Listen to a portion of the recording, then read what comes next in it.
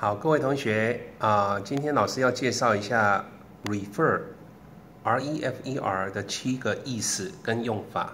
那老师这里有个口诀，马上跟大家分享哈。同学要记得 refer 呢，因为它意思很多，所以呢，我们最好能够一口气记起来它的七个用法。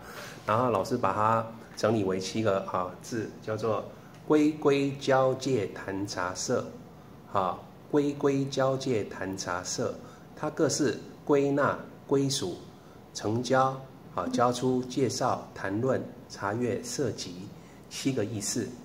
那我们呢，用这七个蓝色字把它串起来，变成一个口诀，就很好记了。跟老师念一遍，来：归归交界谈茶色，开始。归归交界谈茶色，归纳、归属、成交、介绍、谈论、查阅、涉及。啊，如果真的记不起来呢，啊，我们就用一个很可爱的啊一个谐音去记它，就是。啊，大家会不会台语啊？啊，我们说归去高出来去北店嘛供哈茶社就是呃，你说阿公店哈，那就是归归交界谈茶社，归去高出来去北店嘛供。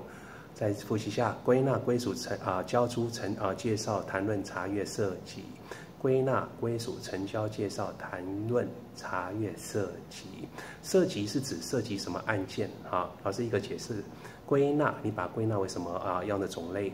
归属于什么样的部分？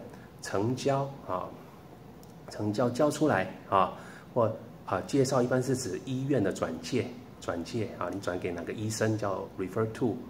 然后呢，谈论到了什么意思？这也是课本常用的意思，就是 refer to 的意思，就是 regarding about 的意思。再来查阅，就是指查字典、查单字，也可以说 refer to the definition。啊，涉及是指涉及什么刑事案件？哈，这七个七个用法在上下文啊，要看好才能决定哦。好，来复习一下：归归交界谈茶色，开始。